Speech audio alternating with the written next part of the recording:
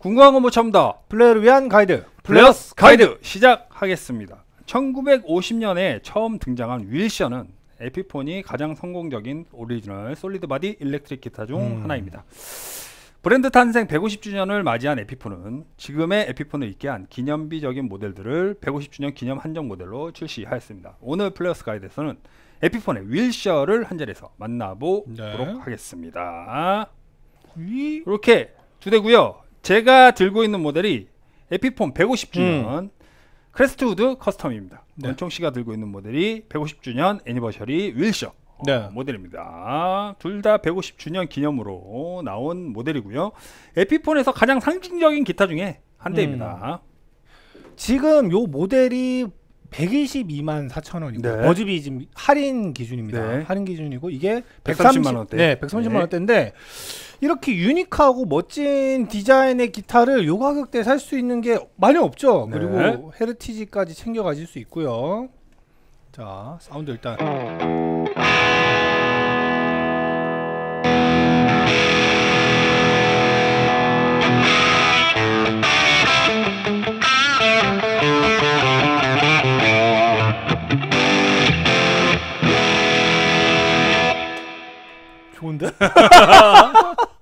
오 소리가 엄청 멋지네요.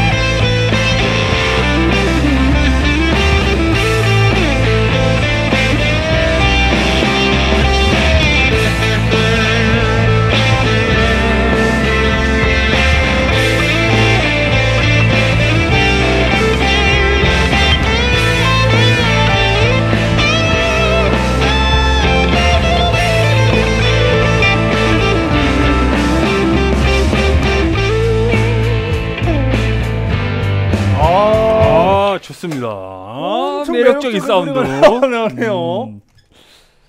다음은 이야, 크레스트우드 커스텀. 이 여러분 어떠십니까? 이 노란색 기타. 음. 어, 저는 이거 사실 제일 마음에 드는데 그 사실 이게 노란색 기타가 사실 이게 좀 어렵긴 하죠. 그죠. 일반 분들이 좀? 야 이거 어떻게 해야 되나 이런 생각 드실 텐데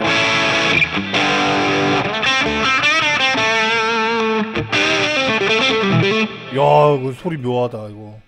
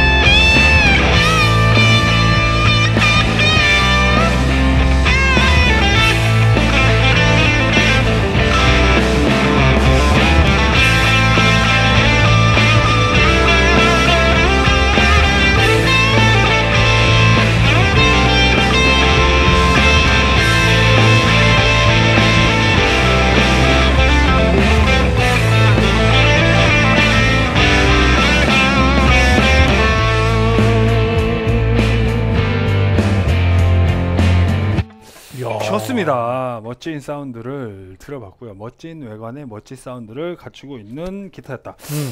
이 저는 이런 생각을 좀 가져봐요. 음, 에피폰이 150주년을 맞이했기 때문에 이런 에피폰의 originality가 담겨 있는 기타들을 음. 음, 다시 만나볼 수 있게 되는데 물론 이 윌셔라는 기타가 아, 이전에도 출시가 계속 되고 어, 구매를 할 수 있었었는데 뭐 P90이 박혀 있다든지 옵션이 조금씩 조금씩 다르긴 했었지만 이 한때 음. 이 깁슨과 에피폰이 이 같이 암흑기를 걸었을 때 당시에 이 그때는 무조건 음, 깁슨과 에피폰이 거의 1대1로 음, 깁슨에서 나오는 모델을 저렴하게 만든 에피폰의 유사 모델 음. 형식으로 해서 마케팅을 진행을 했던 경우가 많았죠. 근데 저는 장기적으로 봤을 때는 이런 에피폰의 originality가 담겨 있는 모델을 계속 부활시키고 이런 모델들을 많이 만들어내고 어, 많이 판매를 진행을 하는 것이 깁슨한테도 에피폰한테도 분명히 좋겠다. 그죠? 라는 생각이 드는 시간이었습니다. 굉장히 매력적인 기타였고 이 최근에 은총 씨가 늘 얘기하는 거지만 음, 젊은 친구들 같은 경우는 음. 기타 브랜드 젊은 세대. 중요하지만 브랜드보다는 자신이 원하는 디자인의 기타를 그죠? 개성을 드러낼 수 있는 기타. 개성을 드러낼 수 있는 기타들을 많이 찾고 선호를 합니다. 그래서 가끔은 제가 매장에 있었을 때 연락이 와서 제가 처음 들어보는 음, 브랜드의 기타를 얘기하는 젊은 음. 친구들도 많이 있어요. 음. 구할 수 없냐 라고 음. 얘기하시는 분들이 많이 있는데 그런 정신과 굉장히 잘 맞아 떨어지는 기타가 아니었나라는 생각이 듭니다. 그 사실 이거 이 방송을 음.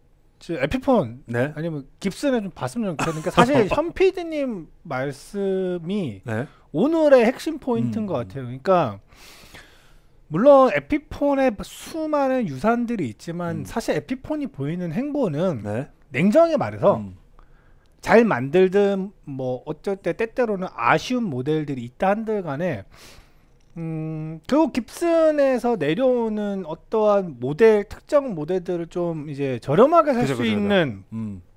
그 디자인을 개성하는 네. 물론 할로바디 같은 경우야 어떻게 보면 에피폰이 더 원조라고 할수 네. 있겠지만 레스폴이라든가 SG 같은 거나 뭐 이런 모델들은 사실 깁슨의 또 상징이잖아요. 음. 근데 에피폰 레스폴이라고 우리가 불러지면서 음. 이제 깁슨에서 또 이제 뭐 예를 들면 뭐 슬래시라던가 뭐 최근에 리뷰했었던 제가 뭐 그 성함이 기억 안 음. 납니다만 뭐그 또 롱미션 그, 그 뒤에 막 그림 막 그려져 있고 음, 했었던 음, 음, 음. 뭐 그러니까 결국엔 원래 깁슨을 쓰는 유저인데 에피폰으로 조금 더 저렴하게 만날 수 있는 시그네처가 나오던 거. 그러니까 계속 깁슨의 유산을 네. 에피폰에서 좀 조금 재해석하는 음. 그리고 저렴하게 만날 수 있는 이쪽으로 많이 치중을 하는데 저는 오히려 아까 현 PD님 말씀을 빌려서 이제 말씀드리는 음. 게 이런 게 나오고 이런 라인들이 더 이제 에피폰을 원래 전통적으로 했던 것들이 더 강세가 돼서 정말 차별점이 음, 되는 음. 어 라인업이 되면 대표적으로 그렇잖아요. 그 이제 최근에 이제 저희가 좀 됐지만 에피폰 그 카지노가 네. USA가 나오는데 음, 음, 음. 나오자마자 음, 바로 음. 팔렸습니다. 그리고 그 카지노가 소리가 어땠나요? 음. 말도 안 됐잖아요. 그러니까 애초에 저는 좀 이제는 그렇게 가도. 괜찮지 않을까. 물론 이거는 또 경영진에서 그죠, 봤을 그죠. 때는 어, 어. 또 쉽지 않은 선택이겠지만 이런 멋진 기타들이 에피폰 USA 라인도 나와주면 음. 구매하지 않을 이유가 없겠다. 그리고 지금 이 두 대의 기타가 여러분들 지금 시, 이 보이시겠지만 소리도 너무 좋고 이렇게 매력적인 기타인데 요즘 같은 시대에 정말 어필할 수- 게 좋은 기타지 않을까. 그리고 어 SG가 좀 뭔가 재미없다. 음. 막 아우 너무 지겹다. 난 SG 기타 좋아하는데 좀 다른 형태의 그런 가벼운 무게감과 이런 깁슨에서 생산되는 이런 솔리드 바디적인 얇고 괜찮은 음. 이런 것들을 가져가면서 내가 연주를 하고 싶은데 그런 대안의 기타가 잘 없다 했을 때 에피폰에서 이게 유- 만약 USA가 나온다면 얼마나 또 음, 재밌는 음. 기타가 될까요? 그러니까 이런 게 좀 기타 브랜드 안에서 자신들만의 주력 모델이 좀 풍성해졌으면 음. 하는 바람이고요. 마지막으로 사운드는 솔직히 제가 이렇게 말이 주저리 주저리 사운드 이야기를 안 하고 이게 많았던 게 사운드가 둘 다 너무 좋아요. 음. 그러니까 이거는 여러분들 둘 중에 아무거나 그냥 선택하셔도 이 소리가 마음에 들었다, 디자인이 마음에 들었다 했을 때는 딱히 어 뭐야 이거 음, 뭐 리뷰 때 하는 것보다 소리 별론데 하실 일은 없을 것 같습니다. 음. 그렇습니다. 어, 에피폰의 150주년을 음. 기념하는 Wilshire 모델을 오늘 한 자리에서 만나봤습니다. 은총 씨가 잘 정리를 해주신 대로 그 에피폰이 150년 동안 이 그 브랜드의 이름을 지켜올 수 있었던 음. 이유는 지난 시간에 이어 오늘에도 증명이 됐다라는 생각이 듭니다.